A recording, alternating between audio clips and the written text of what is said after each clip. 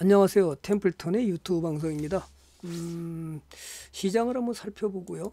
어, 어떻게 될지 시장을 시장은 지금 상승장으로 하고 오늘 어, 공매도 11월 6일 날 공매도 금지한 폭등 이후에 5일 아, 동안 조정을 받고 다시 상승했다가 60일선을 지지하면서 장대 양봉, 양봉을 내면서 아주 이쁘게 추세를 살려놓는 모습을 보여주고 있죠.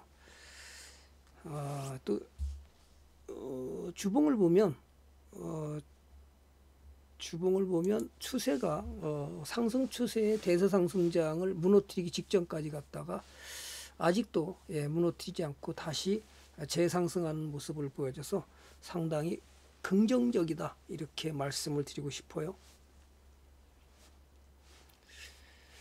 자 그러면 어, 시장을 한번 살펴보고요. 저는 끊임없이 어, 유튜브에서도 일곱 가지 조건을 제시하면서 시장은 상승장으로 갈 것이다. 물론 지금 그 산타랠리가 올 것이냐 말 것이냐 또 미국 경제가 경착륙이니 연착륙에 아직 그 설왕설래하고 다툼이 있지만 저는 오히려 경착륙에 연착륙에다가 산타랠리 비슷하게 오지 않을까 저는 그렇게 보고 싶습니다. 여러 가지 조건이 음, 외인 뭐 지난번에 공매도 금지라면 외인 자금이 이탈을 우려하고 있는데요. 오히려 외인들은 매수를 계속 감행해서 한번 투자 종합을 좀 보겠습니다. 그럼 그 해지 수단을 어디로 갔느냐? 그 선물로 갔습니다. 네. 일별 현황을 보면 외국인들이 계속해서 11월 6일 이후에 어, 7천억, 4천억, 2천억 매도는 거의 없고요. 그죠? 거의 매수만 감행했습니다. 이런 걸 보고서 자꾸만 엉뚱한 얘기하는 거에 여러분 현혹되지 마시고요. 그 다음에 주도주 삼성전자가 외국인들이 어떻게 매수하는지 또 한번 같이 보자고요. 음, 공매도 금지 이후에 삼성전자를 외인들이 11월 6일이죠. 11월 6일부터 매수한 것이 4, 4, 400, 200, 400, 400, 200 지금 계속해서 매수하고 있습니다. 연기금도 뭐 3일째 매수하고 있고요. 그죠? 어, 지금 계속해서 개인들만 지금 삼성전자를 다 팔고 있죠. 사지 뭐또 심, 그래서 이번에 KB증권에서 어, 목표 주가를 9만 5천 원, 그 다음에 내년 4분기에는 3조 5천억의 흑자 전환할 것이고 내년에는 12조 원대의 흑자 전환이 예상된다. 그러면 12조 원대면 한 분기에 5조씩 예, 4, 4분기까지 12조 원. 맞나요? 아니야. 그러면 4, 4분기 4, 4, 3, 3조씩 어, 12조 원대 흑자 전환이 예상된다고 그러는데 일단 삼성전자 폭풍 매수가 9거래 일째 이어지고 있고요. 또 반도체 업황이 개선되는 기대감이 커지면서 글로벌 스마트폰 시장과 PC 시장이 살아나고 있고요.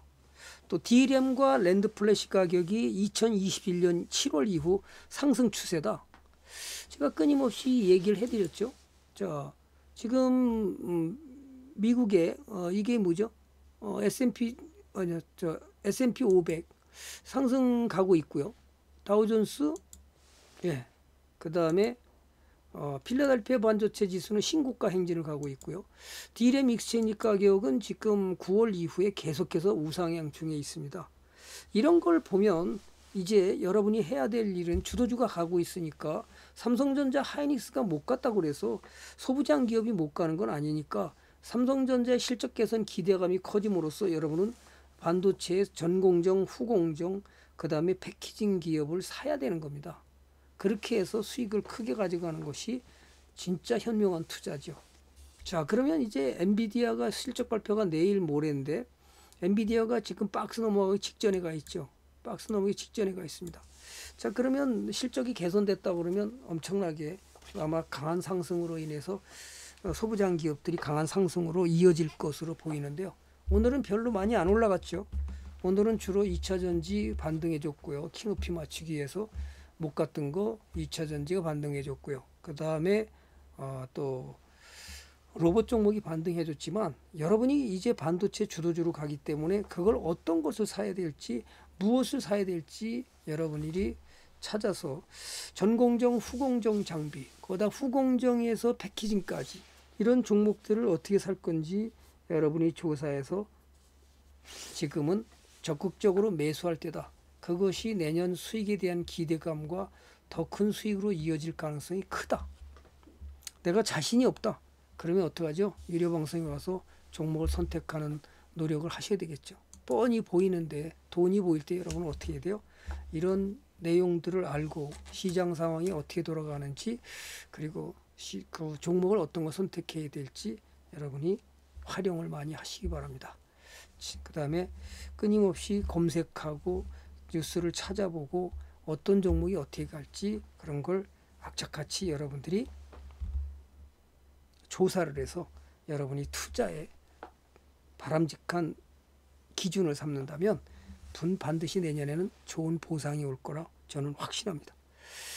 자 오늘은 짧게나마 이렇게 예, 여러분들이 짧게 짧게 시장 상황하고 알려드렸습니다.